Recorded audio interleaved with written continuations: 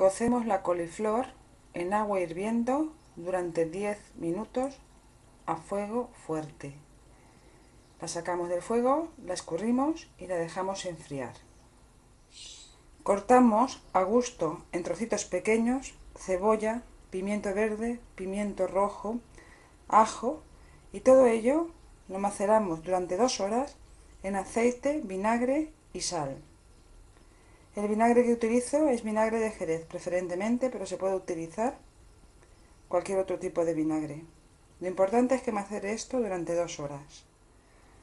Disponemos la coliflor en una fuente profunda.